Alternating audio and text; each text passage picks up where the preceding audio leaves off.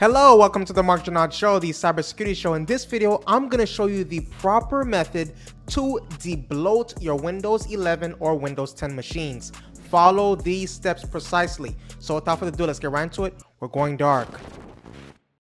But before we get into those steps, let's talk about can debloating Windows 11 or your 10 device affect its security features. So debloating Windows 11 can potentially affect its security features if not done carefully. So you're gonna wanna consider these key points. Number one, removing built-in security apps, un uninstalling Windows Defender or other Microsoft security tools can leave your system more vulnerable if not replaced with alternative protection. Number two, disabling telemetry.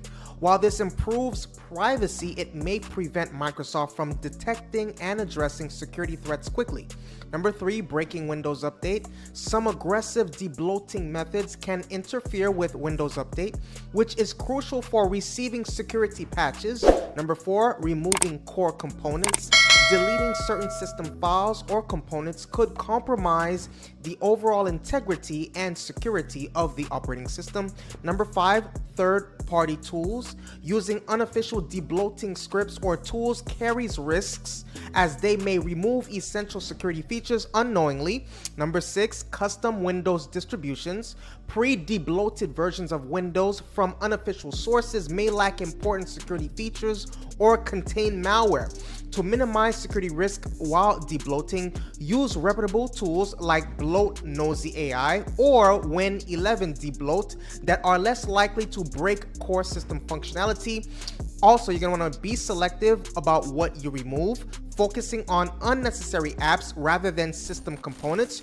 You're gonna also wanna maintain Windows Update functionality to ensure you receive security patches. And you're gonna wanna consider using Windows built-in security features instead of completely removing them. Oh, here's another thing.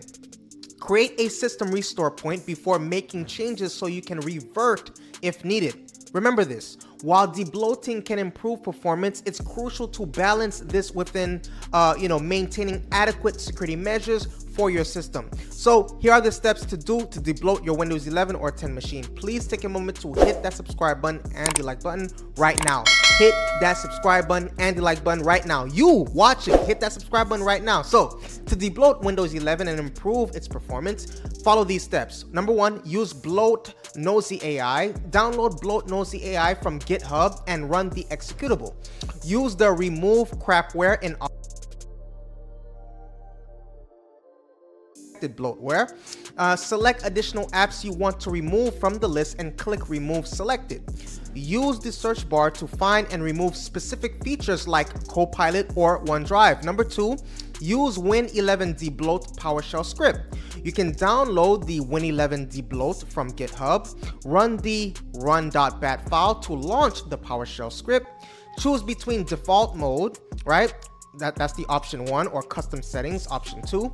Wait for the process to finish which will remove bloatware and disable invasive features. Number three use windows 10 debloater script. Open powershell as administrator.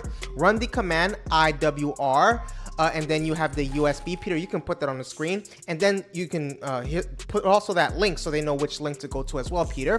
In the open interface, disable Cortana and OneDrive if you don't use them. Click on Disable Telemetry slash Tasks to stop background tracking services. Use customized block list to select specific apps and packages for removal. Uh, click remove bloatware with custom block list to complete the process. Consider using other tools like uh, you have the this is Win11 from GitHub is recommended as an easy to use tool. Uh, there is a YouTuber Chris Titus Tech Windows utility offers additional debloating options. For a clean start, some users recommend using custom Windows distributions like Ghost Spectre uh, Windows 11, which comes pre-debloated. Now, remember to create a system uh, restore point before making significant changes to your system. Always be cautious when removing apps or changing system settings as it may affect your Windows experience or functionality. Now, we got that out of the way, right? That's the nuggets for you. Now, how can you, you, you, how can you ensure your system remains secure after debloating Windows 11? So while debloating Windows 11, uh, can improve performance and privacy, it's crucial to maintain security. Here are some key steps to ensure your system remains secure after debloating, right? Number one, be selective in what you remove. Don't remove core security components like Windows Defender or Windows Update. Number two, keep Windows Update enabled and functioning. This is essential for receiving critical security patches and updates. Number three, maintain antivirus protection. If you remove Windows Defender, ensure you install a reputable third-party antivirus solution. Number four, use reputable debloating tools. Stick to well-known tools like Bloat Nosy AI or Win, you know, the Win11 debloat that are less likely to compromise system integrity.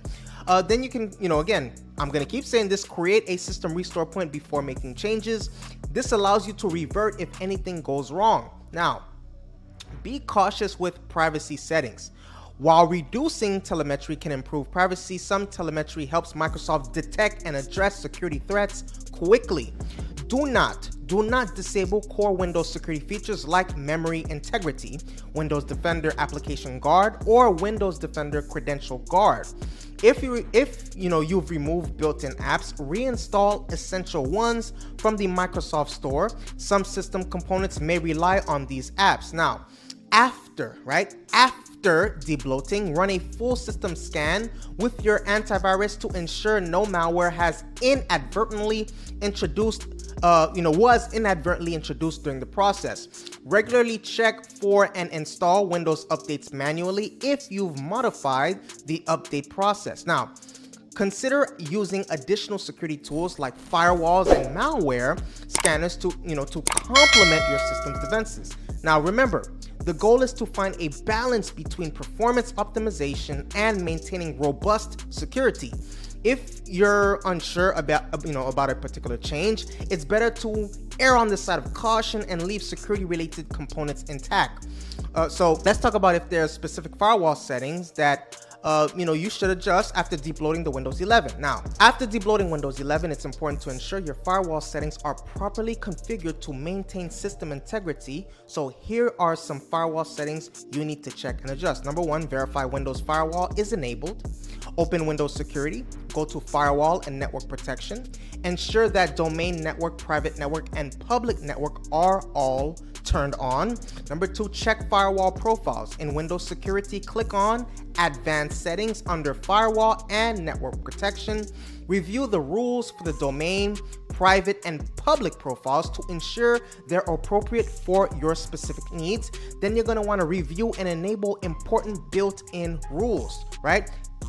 In advanced settings, check both inbound and outbound rules. Ensure critical Windows services like core networking and Windows Update are allowed. That's what I have for you today. Please take a moment to hit that subscribe button right now and that like button. Hit that subscribe button and that like button right now. I appreciate your viewership. Stay safe and see you on the next video.